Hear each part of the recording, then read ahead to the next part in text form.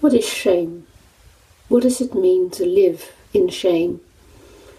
Well, it means that you see yourself through the eyes of somebody else or several other people, society perhaps, or culture, and that you disapprove of yourself, that you consider that you are deficient, in the wrong, that you are not up to the standard that should and could be expected of you, that in some specific and important ways you are falling short of other people's expectations of how you should behave, how you should be in the world, and what kind of person you should be.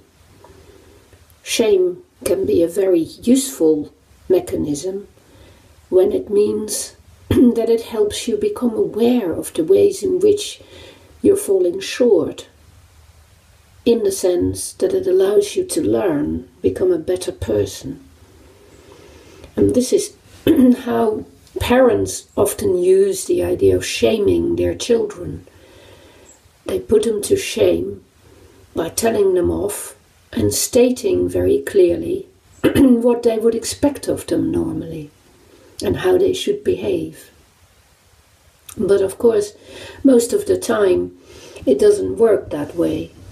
The shaming is actually too much and too damning and the children or the people that are shamed become very battered by it, very upset by it too. And they lose a sense of their own goodness or their own capacity to be better than they are. So shame can backfire very much. And if you carry a lot of shame inside of yourself, then particularly you might become very insecure about yourself you might feel very diminished and very deficient, and you might actually become quite paralyzed in the way you go about your life. Because everything you do and everything you say, you become self conscious and you feel that somebody else is watching you or criticizing you or listening to you and knowing better than you. And therefore, you lose your self confidence. You, you lose your inner sense of integrity you are no longer capable of checking who you are and where you stand by your own standards, but rather this externalized view of yourself and what you do and what you say and who you are is constantly with you. Now, if that were a positive view of you, and that might do you some good, but if it is a negative, undermining view of you, it will almost certainly stop you in your progress. So, to be blamed by people and to be shamed by people is not a nice experience and it is not a positive way for a person to become aware of how they might want to improve themselves or how they might want to progress in a new direction.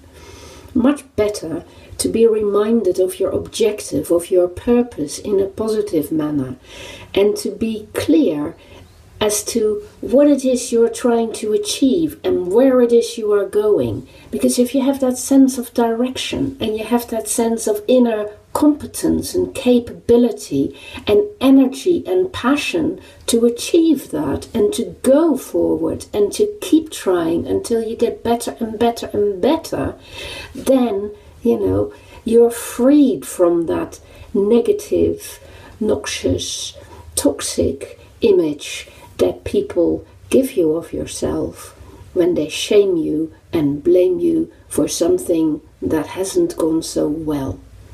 So try to liberate yourself from shame.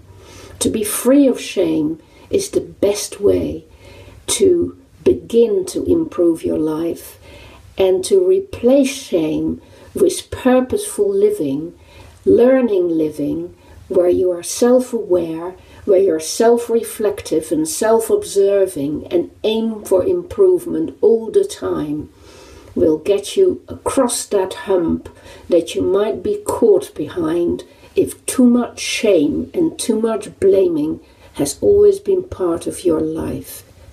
Be it shame that's given to you by others or shame that you carry within yourself. Don't let them shame you. Find your own standards, live by them, and keep going, my friend. Onwards and upwards.